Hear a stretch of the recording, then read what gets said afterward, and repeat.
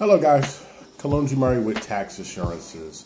Um, just want to do a video for people that are filing taxes for the first time or maybe the second or third time. They're not really as familiar with the tax filing process and I just wanted to provide some information, some guidance, some you know best practices that I've given out to my clients over the years in terms of you know just kind of putting everything together, making sure that you have all the information, answer any questions that people may have uh, about that tax about the tax prepar- preparation process.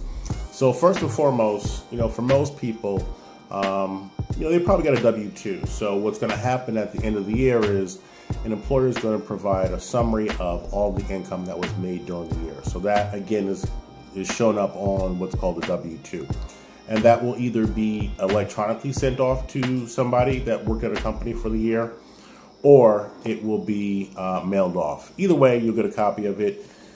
The IRS actually requires that by the end of January that everyone that worked for a company receive a W-2. So that's going to be received if, let's say for instance, it's mid-January or even towards the end of January and for some reason you know, you've been working at a company and you haven't gotten a copy of the W-2, you would just simply reach out to them, ask for a copy, and somehow, some way, they are required by law to make sure that you get that.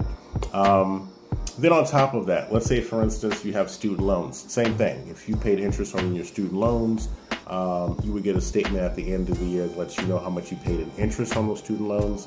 Uh, let's say you and your friend, you know, you had an investment in crypto. If you had a brokerage account with, let's say, um, you know, one of the brokerage firms, they also would send a year-end summary of all the transactions that happened. So say, for instance, you were buying and selling, whether it's crypto or whether it's individual stocks or mutual funds or what have you.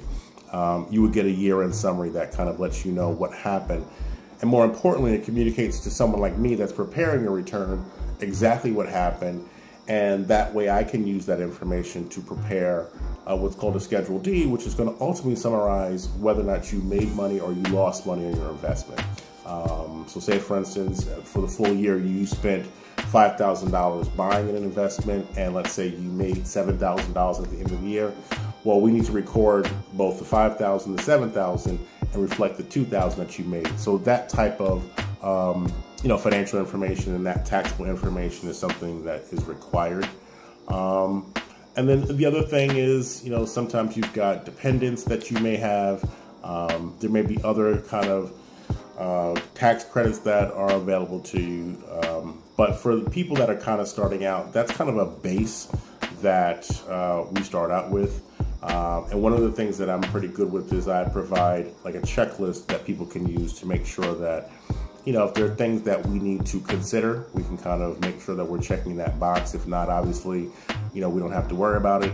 More importantly, what it also does is it provides guidance for the future that, oh, I'm not doing this now. Let's say against again, like let's say for instance, it's an investment account, um, but in the future, it's something that you're thinking about. That way, we can have a conversation, you know, that particular year about what that looks like, and then more importantly, for the future, you can kind of prepare what that tax rate or like how much you need to set aside to make sure that any any income that you are getting, you are um, accounting for it, making you know tax payments on it, or expect to make tax payments on it, and how it's going to play out for the whole return.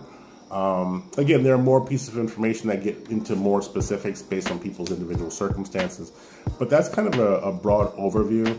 Um, obviously, if you've got questions, by all means, reach out, give me a call, uh, shoot me an email, and I would love to help.